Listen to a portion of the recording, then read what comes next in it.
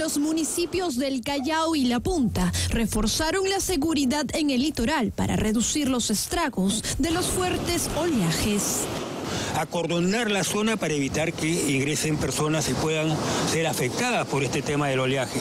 Vamos a tener seguridad de la Policía Nacional, serenado permanente de 24 horas, está la, la Gerencia de Defensa Civil, incluyendo también el mantenimiento de la ciudad, porque hay que hacer la limpieza constantemente y ahora te, vamos a tener 120 personas haciendo la limpieza que corresponda ante este oleaje anómalo.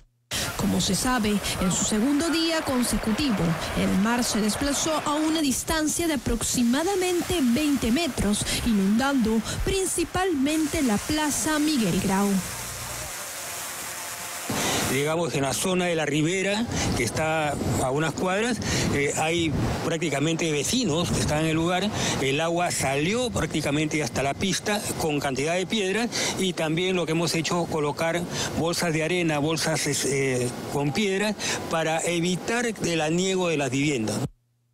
Otro de los puntos más afectados son los jirones Ferrer y Aguirre en La Punta.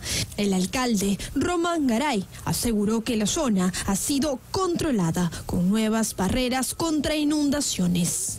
Hemos colocado estas barreras contra inundaciones, es lo último, no es lo más moderno, ya que los sacos de arena ya es algo obsoleto, es algo contaminante. Estamos utilizando y estamos estrenando, somos uno de los primeros distritos que está utilizando estas barreras de contención, lo cual va a evitar que el, mar o las piedras salgan. Dicho refuerzo ha sido instalado en cinco puntos. La zona desde Arrieta, García García, More, Ferrer ¿no? y Aguirre. ¿no? Estamos reforzando toda esta zona que son las zonas más vulnerables del distrito. Como recomendación a, a, todos los vecinos que no se puede ingresar al mar en estos días, a los visitantes también vamos a tener cerrado cinco días la playa, es por prevención.